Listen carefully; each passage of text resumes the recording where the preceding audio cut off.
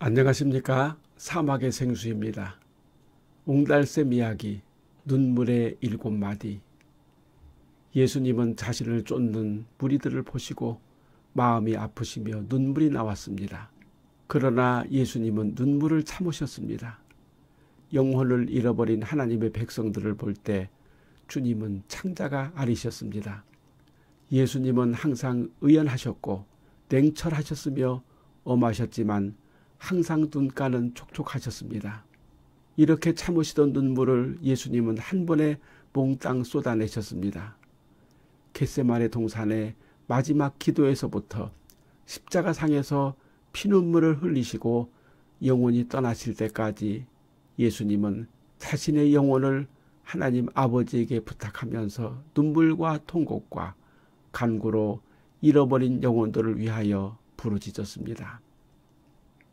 예수님께서 십자가에서 남긴 일곱 마디는 눈물의 일곱 마디였습니다. 눈물로 피눈물로 쏟아낸 일곱 마디였습니다. 첫 번째 마디 아버지여 저희를 사하여 주옵소서 우리 주님은 우리의 죄를 자신의 죄로 회개하듯이 피눈물을 흘리시며 우리의 죄를 용서해 달라고 하나님에게 용서를 구했습니다. 두 번째 마디 내가 진실로 내게 이르노니 오늘 내가 너와 낙원에 함께 있으리라. 우리 주님은 옆에서 함께 형틀에 달린 사형수의 애절한 간구를 들으시고 마음속에 흐르는 눈물로 말씀하셨습니다. 죽음 후를 두려워하지 말라. 너는 구원받았느니라. 요셉은 야곱이 죽은 후에 형제들이 자기에게 원수를 갚지 말아달라고 간청할 때 울었습니다. 걱정하지 마시오 형님들 형님들과 아이들을 내가 평생 잘 모시겠습니다. 진정 용서하는 자는 용서받을 사람의 눈물을 대신 흘립니다. 이 눈물은 돌아온 탕자를 부둥켜 안고 우는 아버지의 깊은 눈물이었습니다. 세 번째 마디 여자여 보소서 아들이니다. 우리 주님은 눈물로 마리아를 바라봅니다. 육신의 어머니도 구원을 받아야 할 영혼이기 때문입니다. 네 번째 마디 엘리 엘리 라마 사박다니 우리 주님은 자신을 세상에 보내신 하늘 아버지를 향해 나의 하나님 나의 하나님 어찌하여 나를 버리셨나이까 하고 통곡으로 부르짖습니다. 우리 주님은 십자가의 고통 속에서 자신의 아픔과 고통보다도 영혼들을 향한 아버지의 사랑을 알고 통곡했습니다.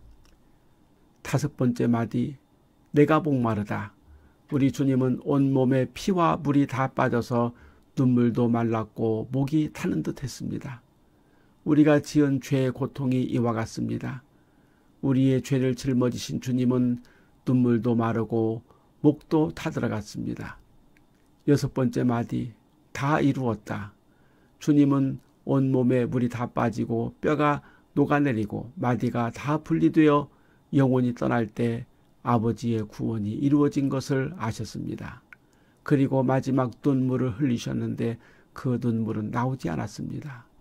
이 눈물은 안도의 눈물이었고 기쁨의 눈물이었습니다. 일곱 번째 마디 내 영혼을 아버지 손에 부탁하나이다. 주님은 부활의 능력을 하나님에게 의탁하며 고개를 떨구셨습니다. 고개를 떨구시고 평안하게 떠나셨습니다. 의탁의 눈물이 피가 되어 주님의 눈가에 맺혔습니다. 우리 주님의 눈물의 일곱 마디는 우리 모든 영혼들을 대신해서 아버지 하나님 앞에서 흘리신 구원의 눈물이었습니다. 우리는 주님을 생각하고 우리의 죄를 회개하면서 눈물을 흘려도 주님이 흘리신 것만큼 깊고 진하게 아픈 눈물을 흘릴 수 없습니다. 그러나 우리가 주님을 진심으로 믿고 나는 죽고 내 안에 주님이 살아계시고 주님이 사시도록 할 때 우리의 눈물은 주님의 눈물이 되어 하나님의 보좌에 올라가게 될 것입니다. 주님과 함께 흘린 회개의 눈물, 주님과 함께 흘린 고난의 눈물, 주님과 함께 흘린 기쁨의 눈물, 주님과 함께 흘린 소망의 눈물은 하늘의 보석처럼 빛나며 구원의 영원한 구슬이 되어 생명의 멸관에 알알이 박히게 되어질 것입니다.